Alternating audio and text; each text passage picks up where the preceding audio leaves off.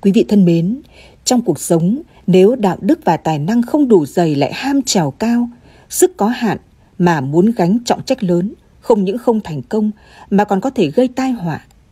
Suy rộng ra trên đời có những điều không nhường nhịn, nhất quyết giành bằng được thì chỉ gây tổn thất cho bản thân mà thôi.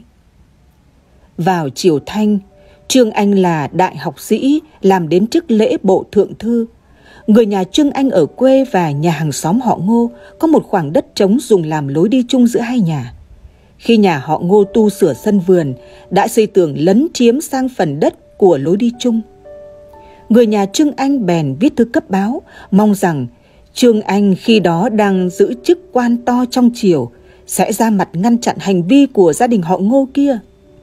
Chẳng ngờ ông đã phê một bài thơ gửi về nhà. Thư xa ngàn dặm chỉ vì tường, có ba thước đất thì cứ nhường, trường thành vạn lý còn tại đó, chẳng thấy tần vương năm ấy đâu. Người nhà nhận được hồi âm cảm thấy thật hổ thẹn, liền nhường cho ngô ra ba thước đất. Người hàng xóm họ ngô thấy vậy rất cảm động và cũng tự xây lùi tường lại và nhường phủ Trương Anh ba thước. Cuối cùng, hai bên gia đình đều xây tường lùi vào ba thước, khiến ngõ hẻm đó rộng thành sáu thước. Bởi vậy, cái tên hẻm sáu thước đã trở thành một giai thoại thiên cổ. Quả thực trong cuộc đời, có không ít người rất nhiều tham vọng. Có chỉ hướng vươn lên là điều tốt, tuy nhiên phải biết lượng sức mình. Mỗi người có một trình độ khả năng riêng, không thể thấy người khác làm tốt ở công việc này, cũng có nghĩa rằng mình sẽ làm tốt. Đặc biệt, tham vọng mà tranh giành với những thứ không đúng, chẳng may không thành công là một chuyện, có khi còn lún sâu vào vũng bùn không thoát ra được.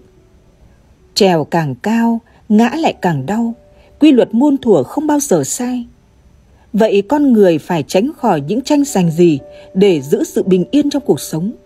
Chúng ta hãy cùng đàm luận qua video này nhé. Thứ nhất, không tranh giành cái lợi kẻ tiểu nhân.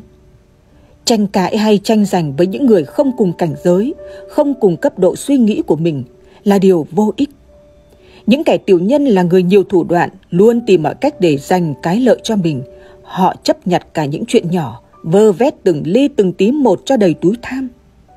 Nếu chúng ta tranh giành một chút với họ, thì chưa chắc đã thắng được, ngược lại còn dễ chuốc họa vào thân. Bởi tiểu nhân không từ thủ đoạn để đạt được mục đích, ngay cả những phương cách đê hèn nhất. Hà cớ gì những con người chính trực phải lún sâu vào những tranh cãi tranh giành với loại người như thế? Chi bằng lùi một bước biển rộng trời cao, tâm hồn ta thanh thản mà cuộc đời không dính vào những rắc rối gây họa. Thứ hai là không tranh giành cái danh với người quân tử. Những bậc chính nhân quân tử là những người rất trọng danh dự. Họ coi trọng cái danh tiếng của mình hơn hết thảy mọi thứ kể cả mạng sống. Vì thế cái tôi của người quân tử rất lớn, đôi khi mong muốn lấn át cả những người xung quanh. Kẻ lại ham muốn tranh cái danh vọng với người quân tử thì quả là hết sức dại dột. Chẳng biết lợi lộc từ cái danh ấy được bao nhiêu, nhưng chắc chắn là tranh giành không bao giờ đem lại vui vẻ, ngược lại là còn hao tâm tổn trí, hao tài tốn của, mà có khi rốt cuộc lại nhận về tay không. Đã là bậc quân tử, danh tiếng của họ là điều không cần bàn cãi. Họ là người trọng danh dự, trọng chữ tín, là người đáng để kết giao, để học hỏi. Thay vì tranh đấu thì hãy có thái độ cầu thị giao du với quân tử để tự nâng tầm bản thân mình lên, thế mới là đại trí. Thứ ba là không tranh khôn ngoan với đất trời, thánh nhân. Có thể thấy rằng phúc họa chuyển biến cũng giống như là mặt trăng mặt trời đổi chỗ ngày và đêm luân chuyển cho nhau vậy. Cho nên sống trên đời, gặp họa không nên quá đau buồn, được phúc cũng không nên quá vui sướng, mất không lo âu, được không hoan hỷ. Bởi vì trong phúc có họa, trong họa có phúc, biến hóa vô cùng, sâu xa không thể lường trước được.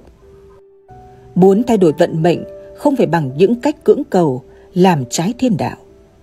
Những điều ấy chỉ thay đổi tạm thời, mà cái hại thì khôn lường. Để thay đổi số mệnh, chỉ có một cách duy nhất đó là tu tâm dưỡng tính. Thấy việc thiện thì tích cực làm.